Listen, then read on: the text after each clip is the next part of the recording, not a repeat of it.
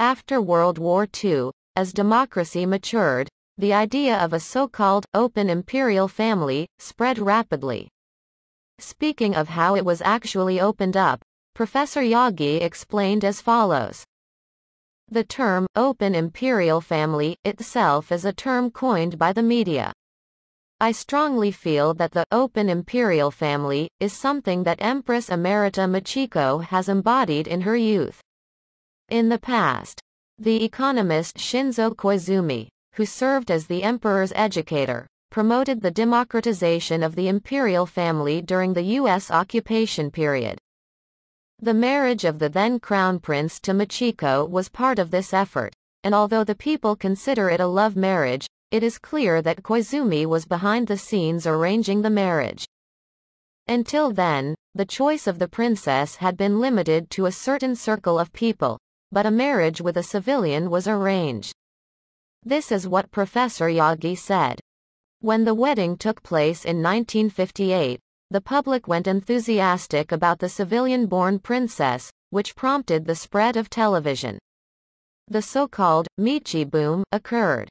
Koizumi was trying to bring the imperial family closer to the people by marrying with a civilian, but Yukio Mishima harshly criticized this movement for democratization, calling it a weekly magazine-style emperor system. At a discussion meeting held at Waseda University in 1968, Mishima said, I think that Koizumi did not create a logical relationship between the people and the emperor. This is because, he said, Koizumi did not realize until his death that the idea of connecting with the people by eliminating dignity was wrong.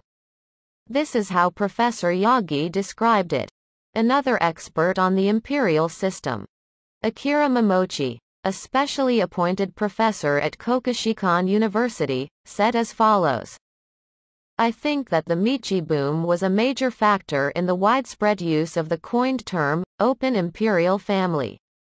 This enthusiasm led to a curious interest in learning more about the imperial family. The people welcomed the openness of the imperial family, and the media responded by encouraging the imperial family to become more open. At the same time as the Michi boom, Tsukamasa Eri, who had served for a long time as the Emperor Showa's Chamberlain and Chief Chamberlain, published a series of books. He wrote, The imperial family must not build a wall between itself and the people as it did before the war. He wrote about the daily life of the Showa Emperor, insisting that His Majesty should have the opportunity to directly interact with the people. Mr. Eri himself may have written those articles with a sense of mission to break down the walls, but I think this was a line that should not have been crossed. It is also true that the Showa emperor appeared as if he were a friend, and as a result, it led to a false trend that the imperial family has no privacy. At the time, people often talked about the British royal family as if it were an ideal, but the British royal family had been very open and the subject of gossip even before that. However, the premise of Britain is that it is a class society, and there is a clear understanding that there is a difference between the royal family and the common people. However, in a society like Japan, where all people are considered equal, if the imperial family were to be opened up to the public, there is a risk that some people would mistakenly believe that the imperial family and the general public are the same. This is what Professor Momochi said.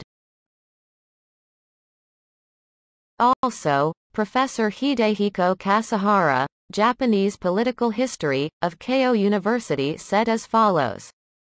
Just before and after the Michi boom, Japan was in the process of changing into a mass consumer society due to high economic growth. It was also a time of media diversification. With the spread of television and an increase in the number of magazines in circulation, the so-called middle class grew thicker, and they began to consume media one after another. Under these circumstances, the number of opportunities for the members of the imperial family to be seen by the public increased rapidly. And I think this created the impression that the imperial family was becoming more open. With so many people still reeling from the war. It was inevitable that in order for the imperial family to get closer to the people, it was essential to get rid of the image of having been involved in the war.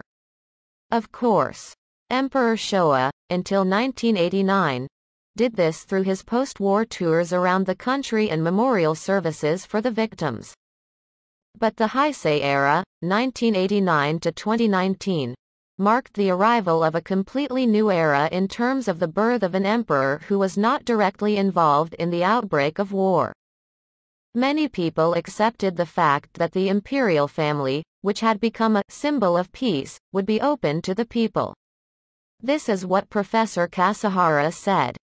A source at the Imperial Household Agency said that this was due in large part to the wishes of the current Emperor Emeritus himself, who faced Japan's defeat in the war when he was the crown prince. During his reign, then emperor, the present emperor emeritus, had been particularly concerned about the memorialization of the war dead, and he had been carrying out this. Even though he had not been directly involved in the war, he was always been deeply concerned about the war that had been caused in his father's name. The foundation of the liberal mind of then emperor, the present Emperor Emeritus, was nurtured in his youth. This is what a source at the Imperial Household Agency said.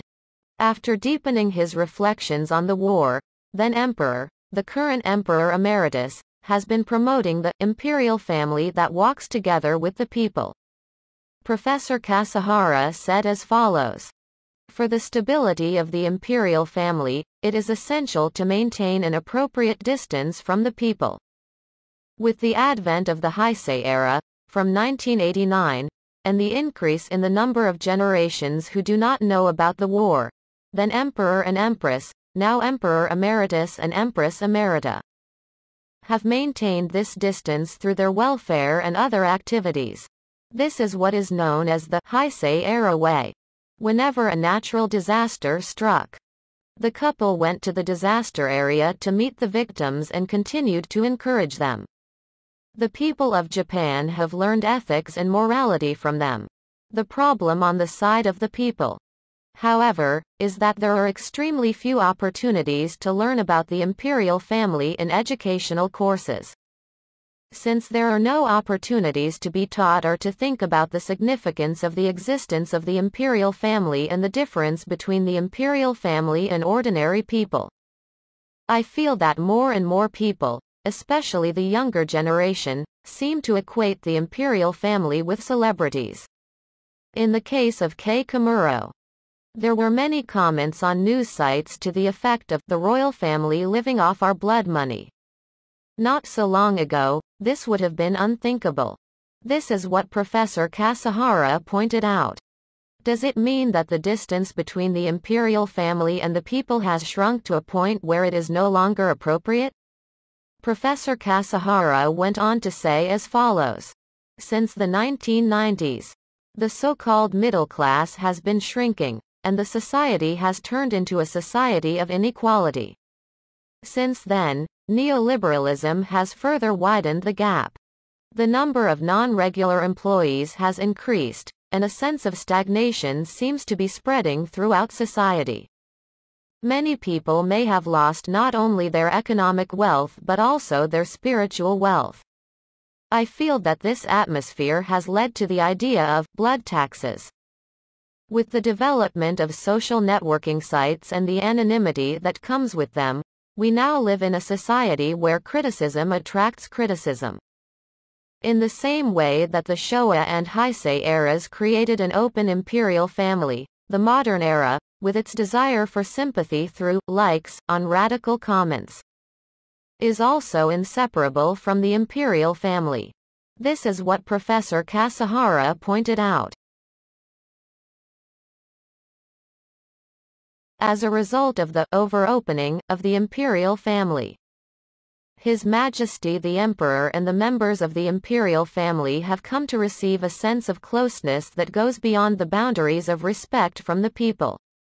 As a side effect of this, The number of people who do not know and do not want to know what the imperial family is has increased. Therefore, once the imperial family becomes a target of discomfort and anger, it has become a situation where people mercilessly criticize the imperial family and the imperial family can be easily subjected to hateful comments. Kei Komuro, who did not understand the significance of the imperial family and approached Mako from the perspective of an ordinary person, can also be regarded as a bastard child of the social networking age. It is ironic, and at the same time inevitable, that the so-called Komuro problem has arisen from the Akishino family, which has avoided the rigid traditions of the imperial family by allowing their children to marry freely, just as ordinary people do. And by denying the traditional Gakushuin school for the imperial education for their children. That's all for now. The information source was published in Shukan Shincho, December 30, 2021 and January 6, 2022 edition. That's all for now. Thank you for watching.